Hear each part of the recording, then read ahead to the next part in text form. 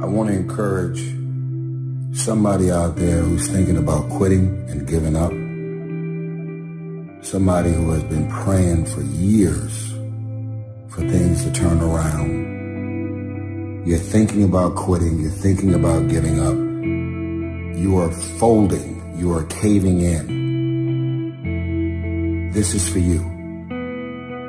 You're in this storm and you're down on your knees and you're cold and you're feel like this is the end. You have a choice to either give up or keep going. Give up or get up. Don't give up. Don't give up. Stay in it. Stay focused. When you fail, try again and again and again. You just take one step at a time. It's hard, but it's worth fighting. It's worth believing.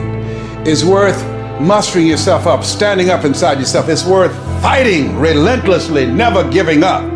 I love the sun, but things don't grow because of the sun. You have to have some rain.